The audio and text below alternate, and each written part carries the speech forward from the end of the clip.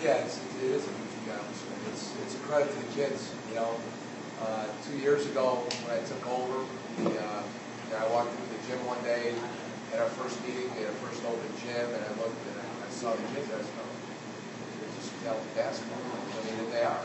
Um, you know, people have asked me, what have you done different? There's nothing. Our kids are, are good players, they're high character kids. You know, they wanted this, they wanted to play games like this.